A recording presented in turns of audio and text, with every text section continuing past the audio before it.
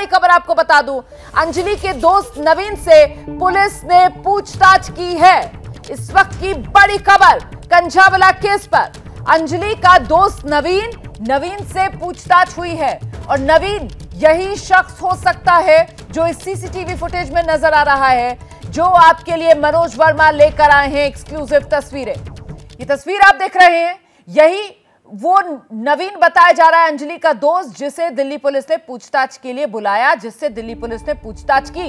वरुण जैन का रुख करते हैं। जानते हैं वरुण से क्या ये साफ़ हो पा रहा है कि ये वही लड़का है जो सीसीटीवी में नज़र आ रहा था? 31 दिसंबर शाम सात बजे के आसपास जिसने अंजलि और निधि को स्कूटी से उनके घर की गली पर छोड़ा।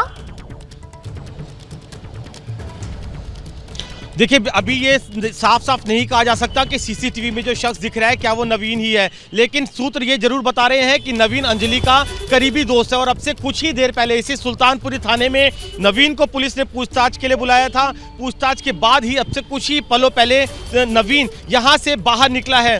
कहीं ना कहीं पुलिस अब कड़िया जोड़ रही है। जिस तरीके से सीसीटीवी में नवीन सामने आया, उससे पूछताछ की गई कि कब वो अंजलि के घर पहुँचा था। उन दोनों के बीच में क्या बातचीत हो रही थी?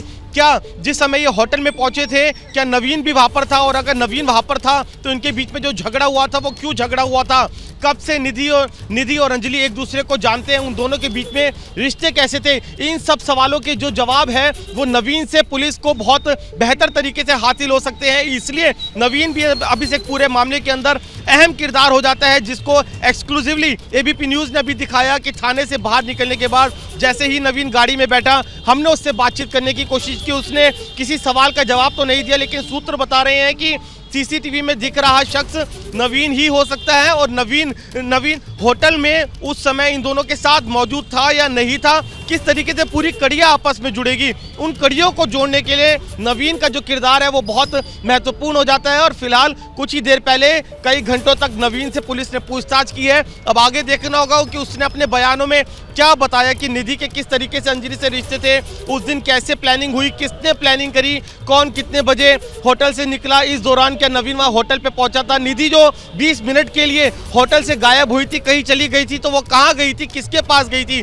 इन सब सवालों को भी जवाब हासिल करना और कड़ियों को जोड़ना पुलिस के लिए अहम हो जाता है। तो फ़िलहाल पुलिस अब फूक फूक कर कदम रखते हुए उस पुल, पल पल का सीक्वेंस है, उसे कनेक्ट कर रही है सीसीटीवी के ज़रिए और वो जो जो किरदार सामने आ रहे हैं, उनसे पूछताछ कर रही है। जी। रहिए मेरे साथ, लौटूँगे आपके पास। अभिषेक उपाध्याय, पूरा मामला महत्वपूर्ण इसलिए हो जाता है क्योंकि पहले दिन मैं बार बार इस बात को दोहरा रही हूँ। साल का पहला दिन था पहली जनवरी तारीख थी। शाम पाँच बजे का वक्त था, जब यह खबर सबसे पहले एबीपी न्यूज़ पर मैंने ही देश को बताई थी। दिल्ली की बेटी, जिसके साथ दरिंदगी हुई, और उस दिन जो पुलिस अधिकारी एबीपी न्यूज़ पर हमारे साथ थे, वो तो ये मानकर चल रहे थे अभिषेक कि ये मामला ओपन एंड शट केस है। ये मामला सिर्फ़ एक एक्सीडेंट है, लेकिन इस मामले में कोई चश्मदीद नहीं है। लेकिन जिस तरीके से इस मामले की परतें खुलती चली गई, जिस तरीके से इस मामले में अब कड़ियाँ जुड़ती चली जा रही हैं यह मामला तो बेहद गहराता चला जा रहा है। और कल तक दिल्ली पुलिस, जो कह रही थी कि साहब किसी तरीके का कोई कनेक्शन मृतिका, उसकी दोस्त का आरोपियों के साथ नहीं है। अब जो किरदार बढ़ रहे हैं, इन किरदारों का कोई कनेक्शन आरोपियों के साथ यह भी एक महत्वपूर्ण जाँच का विषय होगा। अभिषेक देखिए, रोमाना, आप मुझे अच्छी तरह याद है, आपने उनको उसी समय टोका भी था डीसीपी आउटर को कि कैसे वो कह सकते हैं कि एक्सीडेंट है। ये लाइन एबीपी न्यूज़ की उसी समय से तय हो गई थी कि आप बिना किसी जाँच के कैसे साबित कर रहे हैं। और जिस तरह से डीसीपी आउटर शांत निश्चिंत थे मुतमिन थे, अगर एबीपी न्यूज़ इस मामले की कड़ियाँ ना खोलता, हमारे ही चैनल पे रोमाना, पहली बार इस घटना के चश्मदीद दीपक ने अपनी बात कही, और उसके बाद, एक के बाद दूसरे चश्मदीद आते गए, किरदार आते गए। और आप देखिए, किरदार कैसे आगे बढ़ रहे हैं। और अब पुलिस, अभी जो वरुण जैन बता रहे थे कि नवीन का पुलिस अब जाँच कर रही है। आप सोचिए एक का बयान निधि का पहले ही दर्ज करवा दिया है और तमाम सारे किरदारों की अब जाँच हो रही है। इससे आप समझ लीजिए कि आखिरकार कितनी जल्दबाजी में है पुलिस और अभी इसमें कितने किरदार और आने बाकी है। रोमाना ये भी बहुत ही महत्वपूर्ण पहलू है। बहुत महत्वपूर्ण पहलू ये पूरा हो जाता है। जल्दी से आपको लेकर चलते हैं मनोज वर्मा के पास। मनोज ये जो अब नए किरदार आ रहे हैं इनका आरोपियों से कोई कनेक्शन ये भी अपने आप में एक बेहद महत्वपूर्ण जाँच का एंगल रहेगा?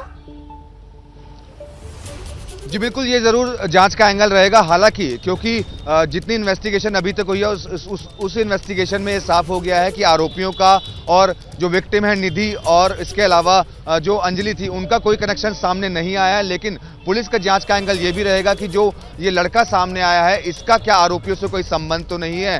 क्या ये आरोपियों को जानता तो नहीं था? तो ये एंगल भी रहेगा। यही वजह थी कि पुलिस ने नवीन को यहाँ पर पूछताछ के लिए बुलाया था।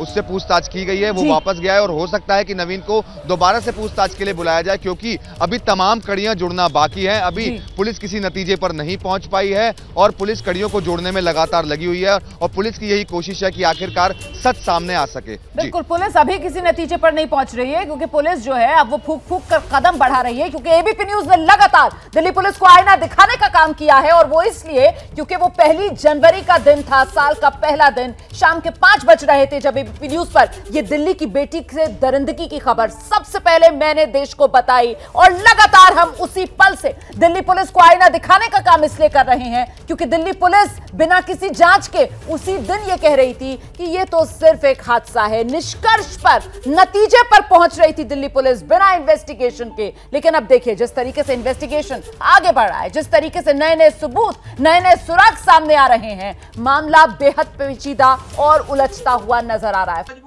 क्या मजबूरी है मेरी बताइए? मैं अभी आपको बताती हूँ।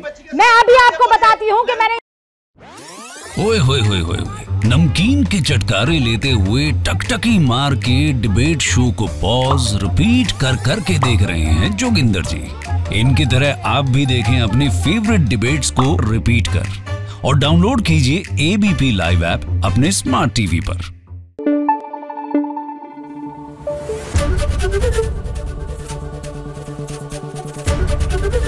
एबीपी न्यूज़ आपको रखे आगे।